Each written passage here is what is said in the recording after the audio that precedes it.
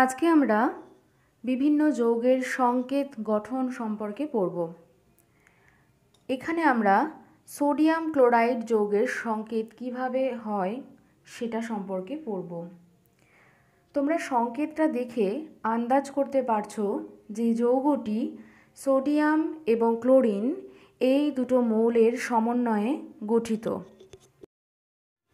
সোডিয়ামের যোজ্যতা এক। আর ক্লোরিনেরও যোজ্যতা এক হয়। তাহলে এবার দেখে নেওয়া যাক যে সোডিয়াম এবং ক্লোরিনের যোজ্যতা কি করে এক হয়। সোডিয়ামের পরমাণু ক্রমাঙ্ক এগারো। সোডিয়ামের ইলেকট্রন বিন্যাস দুই আট এক। অর্থাৎ কে কক্ষপথে দুটি ইলেকট্রন এলেতে আটটি এবং এমেতে একটি ইলেকট্রন। আমরা জানি যে প্রত্যেক মৌলই তার শেষ কক্ষপথে আটটি ইলেকট্রন করতে চায়। সেই জন্য সেই মৌল তার শেষ কক্ষপথে ইলেকট্রন গ্রহণও করতে পারে এবং অথবা বর্জনও করতে পারে। এখানে সোডিয়াম তার শেষ কক্ষপথে তোমরা দেখতে পাচ্ছ একটি ইলেকট্রন আছে। এই একটি ইলেকট্রন সোডিয়াম ছেড়ে দেয়। ছেড়ে দিয়ে তার শেষ কক্ষপথে আটটি ইলেকট্রন করে। কারণ একটা ইলেকট্রন ছেড়ে দিলে তার আগের কক্ষপথে আটটি ইলেকট্রন আছে। তাহলে এখানে সোডিয়াম ইলেকট্রন ছেড়ে দেয়, তার মানে সোডিয়াম প্লাস আয়ন হয়। এখানে সোডিয়াম কটি ইলেকট্রন ছেড়ে দেয়?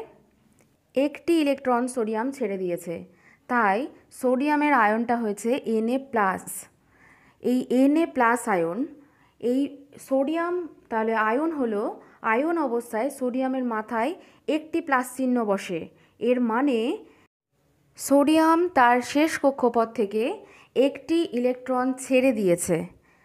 তাহলে কোনো মৌলের পরমাণু তার শেষ কক্ষপথে যতগুলো ইলেকট্রন ছেড়ে দেয় অথবা শেষ কক্ষপথ কতগুলো ইলেকট্রন গ্রহণ করে, সেই সংখ্যাটাই মৌলের যোজ্যতা নির্দেশ করে।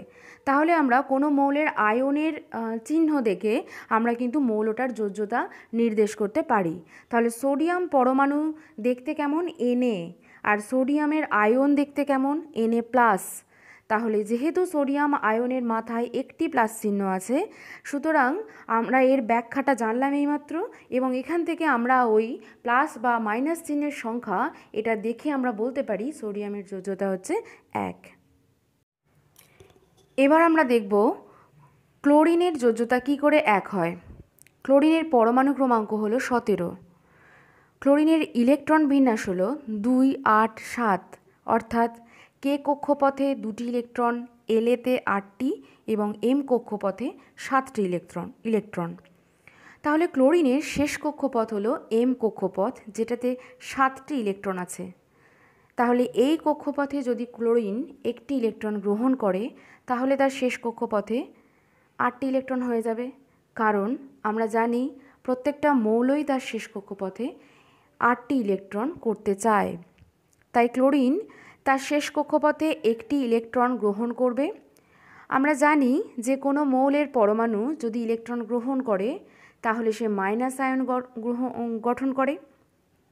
এখানে ক্লোরিন যেহেতু একটি ইলেকট্রন গ্রহণ করেছে, সেই জন্য ক্লোরিনের আয়নটা দেখতে হবে কেমন? সিএল মাইনাস প্রকৃতির, যেটা তোমরা ছবিতে দেখতে পাচ্ছ।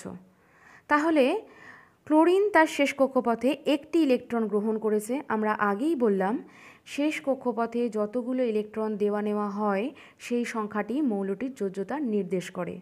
অথবা, মৌলটার আয়নটা দেখতে কেমন? সিএল মাইনাস তাহলে মৌলের আয়নের মাথায় মাইনাস চিহ্নের সংখ্যা একটি, অতএব মৌলটির যোজ্যতা হলো এক, অর্থাৎ ক্লোরিনের যোজ্যতা হলো এক।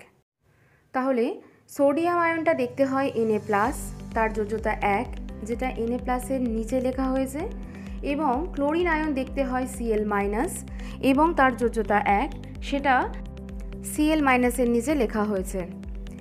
সংকেত লেখার নিয়ম হলো, যে দুটো মৌল মিলে যৌগটা তৈরি হয়েছে, তাদের যোজ্যতা একে অপরের পাশে বসে, অর্থাৎ সোডিয়ামের যোজ্যতা ক্লোরিনের পাশে বসবে এবং ক্লোরিনের যোজ্যতা সোডিয়ামের পাশে বসে, যেটা আমরা অ্যারো দিয়ে দেখিয়েছি। তাহলে, নিয়ম অনুযায়ী সোডিয়াম ক্লোরাইডের সংকেত কি লেখা উচিত ছিল? NA one CL one. যেহেতু দুটোই ওয়ান ডিজিট, সেই জন্য এই দুটো অমিট করে আমরা লিখেছি এনএসিএল ঠিক আছে?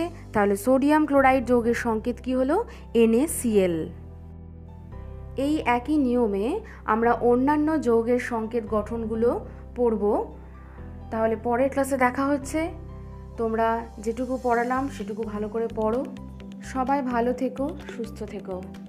পরের ক্লাসে আবার আমরা বাকি অংশটা পড়ব।